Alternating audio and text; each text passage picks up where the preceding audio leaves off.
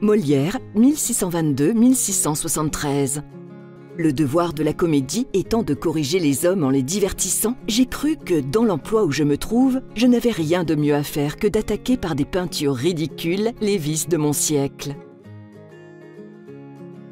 Molière, pseudonyme de Jean-Baptiste Poquelin, est né à Paris en 1622 et mort en 1673. Molière abandonne ses études en 1642 pour devenir comédien. Il crée la compagnie de l'illustre théâtre et il prend le nom de Molière. Il part pour la province avec une troupe itinérante pendant 13 ans. Il devient un homme de théâtre complet, auteur, metteur en scène, acteur et chef de troupe.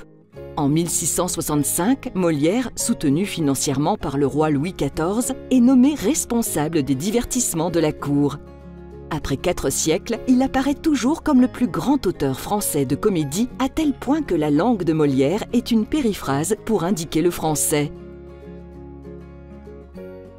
Les Précieuses ridicules, 1659, L'école des femmes, 1662, Tartuffe ou l'imposteur 1664-1669, Don Juan ou le festin de Pierre 1665, Le misanthrope 1666, L'avare 1668, Le bourgeois gentilhomme 1670, Le malade imaginaire 1673.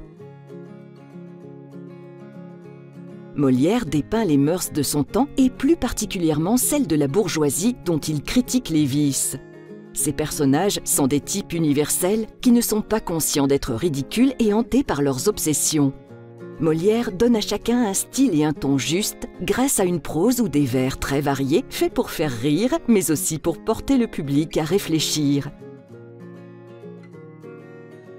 Le Malade imaginaire est une comédie-ballet en trois actes. La pièce met en scène Argan, un hypochondriaque qui, se croyant atteint de toutes les maladies du monde, passe sa vie entre les médicaments, s'entoure de médecins et prétend marier sa fille Angélique à l'un d'eux.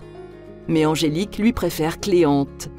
Veuf, Argan s'est remarié à Béline qui attend sa mort pour hériter sa fortune. Grâce à une ruse combinée par la servante Toinette, Argan découvre la perfidie de Béline et l'affection sincère d'Angélique et consent au mariage de sa fille avec Cléante. C'est l'occasion pour Molière de dénoncer les médecins charlatans de son époque en les ridiculisant.